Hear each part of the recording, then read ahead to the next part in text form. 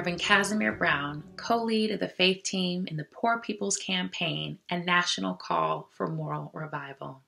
We are privileged, along with the Samuel DeWitt Proctor Conference, to co convene and launch this week an interfaith prophetic witness and prayerful action for a just democracy. The vision is indelibly written. Isaiah 58 1 reads, Shout it aloud, do not hold back, raise your voice like a trumpet. The vision is understood in the sounds of Ella's song.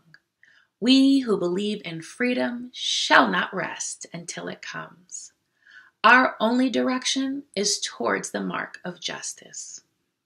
As the truth and light upon this nation reveals its underbelly of injustice, we stand on the promises of God and that the prayers of the righteous availeth much all across this country, in all of its diversity, those who believe in democracy are casting votes for justice.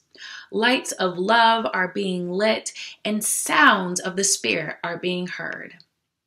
Prayers of peace are transcending, and voices of victory are in the air.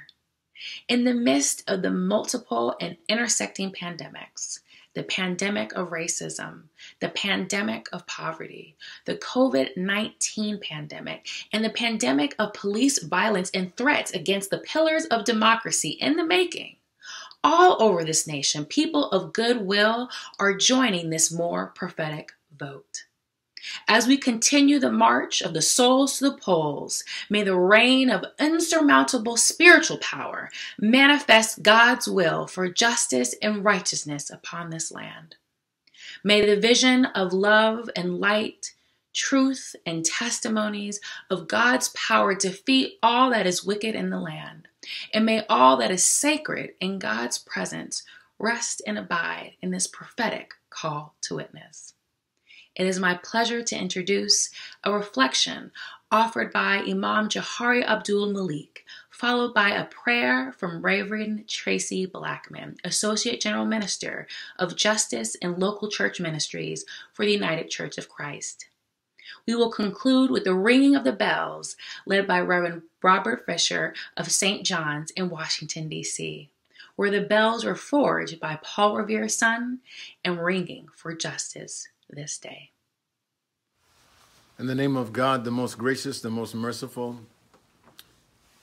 we thank God Almighty, and we're grateful for the opportunity to share what has been provided to us from the legacy of all of the prophets. So if Adam and his wife, or Abraham, Sarah, and Hagar, Moses, and Aaron, Jesus, and his blessed mother Mary, we call them Isa ibn Maryam in Arabic, and the Prophet Muhammad, peace be upon him and his family. We ask God's peace and blessings upon all of them. And all of us have been inspired in our own spiritual lives by the examples of the prophets and their families. And we have read about the stories and the struggles of African Americans coming to the shores of North America before, with, and after Columbus. And our religion, our language, our history, and our culture was taken from us. But in the establishment of democracy and the First Amendment to the Constitution opened the door for us to be free to practice our religion. And so some of us, like me, found our way back to Islam. We are a people in America who have struggled to build this constitutionally based society, and we look back at our heroes and sheroes with pride. We often say that we wish that we had been there with them. We wish that we had been able to fight against slavery with Harriet Tubman and Frederick Douglass or against Jim Crow and segregation. We wish that we had been marching with Dr. King, but tonight we hear Malcolm X ringing in our ears saying that it looks like it might be the year of the ballot or the bullet. It's interesting in that speech that Malcolm X gave that he doesn't talk much about the bullet. He spends most of his time in the speech talking about, in 1964, about the ballot. And so today the ballot is more important than it has ever been. And with my own religious tradition as in Islam, we believe in the Quran and an example of the Prophet Muhammad. And the Quran says, go out and enjoin what is good and forbid what is evil. The Prophet Muhammad said, if you're given a choice between two things, always choose what is best. Malcolm X reminds us that we need to engage in a program of education for our people so we understand what the role of politics is in our lives because at the root of it, democracy is on the table. We must be reminded again to remain engaged in the political process that voting is just the lowest hanging fruit. But what's at stake? Dr. King talks about racism, poverty, and militarism. And our vote will enshrine the ability to establish health and education and justice in our society. But in order to do it, brothers and sisters, we must be organized. We have to get our souls to the polls. Those of us who have access need to be engaged with our family and our loved ones to make it happen. Governance that is consultative and representative of our people is what's on the line. This government today has shown that they are not interested in democracy that the government has shown us that we as a people need to be standing to maintain good governance in America. And in order to do that, we need you. We need you to be able to fight. I don't care whether you're Democrat or Republican, whether you're Muslim, Hindu, Christian, Buddhist, Sikh, Jain, Zoroastrian. What matters now is to look into our own traditions and find whatever the moral compass is so that you and I can work together to struggle to maintain good governance in America. It is not just America's governance that's on the line. The whole world is looking to us for our leadership, our prophetic leadership. The Quran says, let there rise out of your party and joining what is good and forbidding what is evil. Let us hear the call today We've heard the bell and the shofar. Let us hear the call and let us answer that call that we might stand firmly for democracy in our land. Until then, Assalamu alaikum.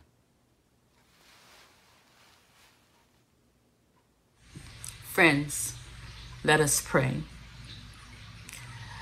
Most wise and gracious God, God in whom we live, move, and have our being. God in whose image we are all fearfully and wonderfully made. God whose very breath we breathe together. God who is intimately acquainted with the pains and the sorrows and the challenges of this world. God who mourns with those who mourn and weep over the deaths of those who have been sacrificed on the altar of capitalism, white supremacy, and greed. God, who visits with those who have been impacted and infected not just by COVID, but by callousness by failure to respond to the needs of your people. God, we thank you for being a God of the valley as much as a God of the mountaintop. And in this moment, we gather in this virtual space to thank you for the privilege of participating with you in the healing of this nation. God, we ask that you grant us courage and grant us conviction. We ask that you grant us endurance and you grant us empathy. We ask that you grant us perseverance and that you grant us patience. We ask that you challenge us consistently, God, by the moving of your Spirit to do all we can to make sure that the voices of your people are heard, all of your people. We do not presume to have a monopoly on you, God,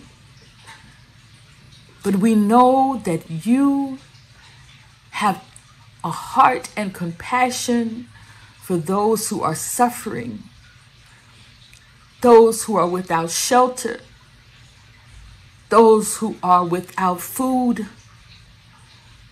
those who are without resources that they need to live a full and sufficient life. We know, God, that you are not pleased with our systems that would hoard much for a few and ignore the needs of many.